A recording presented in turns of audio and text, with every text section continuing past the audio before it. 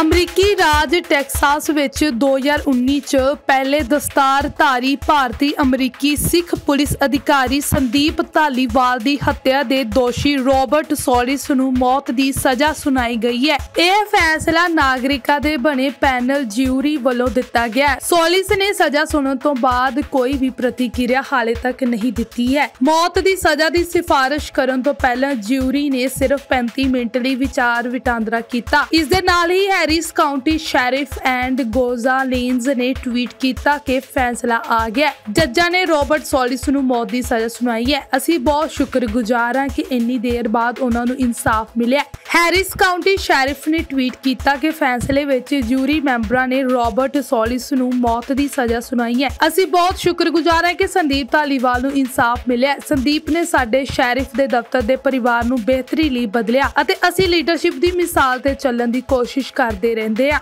ਸੰਦੀਪ ਸਿੰਘ ਸਾਲ 2015 ਵਿੱਚ ਉਸ ਸਮੇਂ ਸੁਰਖੀਆਂ ਵਿੱਚ ਆਏ ਸਨ, ਜਦੋਂ ਉਹਨਾਂ ਨੇ ਵਰਦੀ ਵਜੋਂ ਦਸਤਾਰ ਸਜਾਉਣ ਦੀ ਇਜਾਜ਼ਤ ਹਾਸਲ ਕੀਤੀ ਸੀ। 27 ਸਤੰਬਰ 2019 ਨੂੰ ਇੱਕ ਹਮਲੇ ਦੌਰਾਨ ਉਹਨਾਂ ਦੀ ਮੌਤ ਹੋ ਗਈ ਸੀ। ਅਮਰੀਕਾ ਦੇ ਟੈਕਸਾਸ ਸੂਬੇ 'ਚ 27 ਸਤੰਬਰ 2019 ਨੂੰ ਡਿਊਟੀ ਦੌਰਾਨ ਉਹ ਗੱਡੀਆਂ ਦੀ ਚੈਕਿੰਗ ਕਰ ਰਹੇ ਸਨ। ਇਸ ਦੌਰਾਨ ਇੱਕ ਸ਼ਖਸ ਰੋਬਰਟ ਸੋਲਿਸ ਨੇ ਉਹਨਾਂ ਨੂੰ ਪਿੱਛੋਂ ਗੋਲੀ ਮਾਰ ਦਿੱਤੀ ਸੀ, ਜਿਸ ਮਗਰੋਂ ਉਹਨਾਂ ਦੀ ਮੌਤ ਹੋ ਗਈ ਸੀ। ਸੰਦੀਪ ਸਿੰਘ ਪੰਜਾਬ ਦੇ ਕਪੂਰਥਲਾ ਜ਼ਿਲ੍ਹੇ ਦੇ ਪਿੰਡ ਧਾਲੀਵਾਲ ਬੇਟ ਵਿੱਚ ਜਨਮੇ ਸਨ। ਸੰਦੀਪ ਦੇ ਪਿਤਾ ਕੁਝ ਸਮੇਂ ਤੋਂ ਅਮਰੀਕਾ ਵਿੱਚ ਹੀ ਰਹਿ ਰਹੇ ਸਨ।